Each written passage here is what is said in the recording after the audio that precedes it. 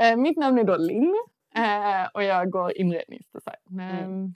Jag heter Vilma eh, och går också inredningsdesign. Jag sökte den här kursen för att få hålla på med inredning men också för att få testa på liksom massa olika grejer.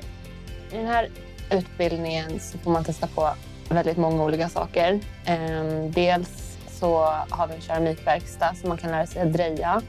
Ehm, man får lära sig trycka med screeningtryck, olika tekniska skisstekniker, eh, färglära, NCS-koder och hur färger påverkar oss emotionellt eh, och massa andra mm. saker. Alltså bara mycket handlar ju liksom om vårt mående och ja. liksom mycket fokus på hur vi är som personer. Ja, liksom. precis. Mm. Den psykiska och mentala hälsan mm. står ändå i fokus. Mm. Folkhögskola för mig innebär en väldigt stor frihet.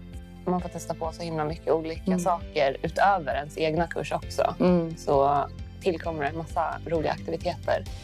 Och det passar ju verkligen en person som inte kanske har funkat i mm. det traditionella skolan. Ja, i den här inboxade mm. sättet att tänka på. Liksom. Ja. Och väldigt fyrkantigt plugg liksom. Och nu är det tenta och, mm. och sådana grejer. Det, mm. alltså det kan vara den som bara vill ha ett roligt år. Ska komma hit. Liksom, mm. Jag känner att den är mycket bredare än vad jag kanske föreställde mig mm. från början, vilket är mm. ganska skönt.